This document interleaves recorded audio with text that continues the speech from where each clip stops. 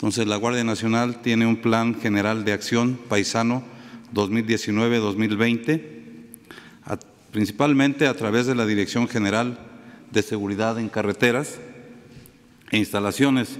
para proporcionar seguridad a nuestros connacionales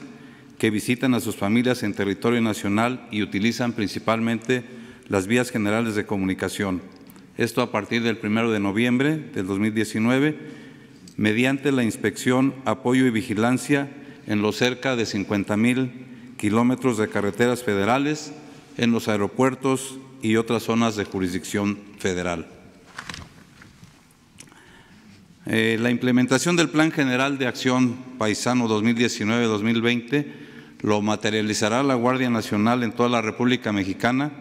mediante el despliegue de personal y vehículos en las 32 coordinaciones estatales, en 155 estaciones y 89 subestaciones, además de la presencia que se tiene en los 58 aeropuertos. Todo ello coordinado desde el cuartel general de la Guardia Nacional en esta Ciudad de México. El propósito principal es prevenir la comisión de delitos de los que pudieran ser víctimas nuestros paisanos que se dirigen a sus lugares de origen,